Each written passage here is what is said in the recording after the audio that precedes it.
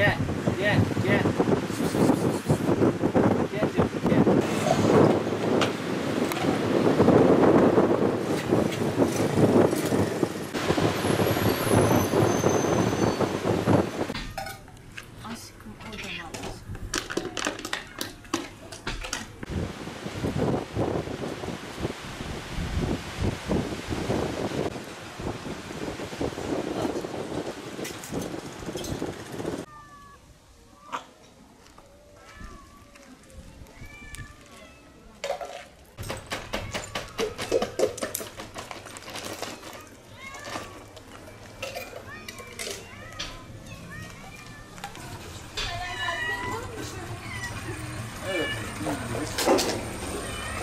Deprem bölgesinde ilk e, deprem yaşandığı dönem e, biz de sahaya geldik.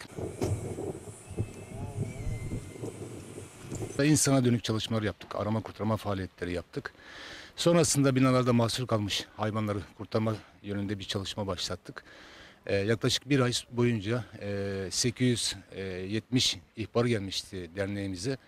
Bu gelen ihbarlardan yaklaşık 300 binaya çıkıp 40'tan fazla hayvanı sağ olarak çıkarttık. E, deprem bölgesiyle kontağımızı koparmadık. Burada yerelde yaşayan e, hayvanseverlerle irtibat halinde kaldık. E, tekrar sahaya geldik onların istekleri doğrultu- doğrultusunda. İki gündür buradayız. E, onların öncülüğünde e, yaptığımız çok fazla besleme oldu. E, sadece bir alanda 200 kedi olabiliyor.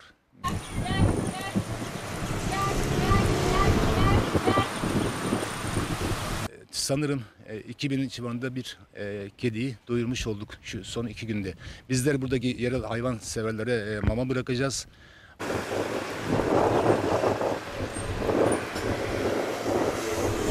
Kediler, köpekler sizin arabanızın motorunu dahi tanıyorlar.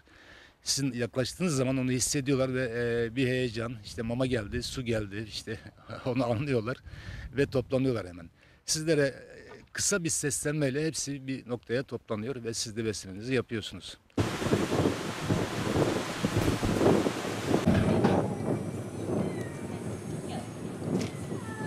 Burada e, insanlar kadar sokaktaki hayvanlar da çok ciddi anlamda desteğe muhtaçlar. Bu noktada bize destek olan bir Pativer e, Derneği'ne çok teşekkür ediyoruz. Depremin ilk gününden itibaren hem insanlara hem de hayvanlara çok destek oldular. Depremin ilk gününden itibaren Antakya'daydık biz. Burada e, evimiz ağır hasarlı. Konteyner kentte kalıyoruz. E, gün içerisinde mutlaka Antakya'nın mahallelerinde e, sokak hayvanlarına besleme ve su desteği sağlıyoruz. Çünkü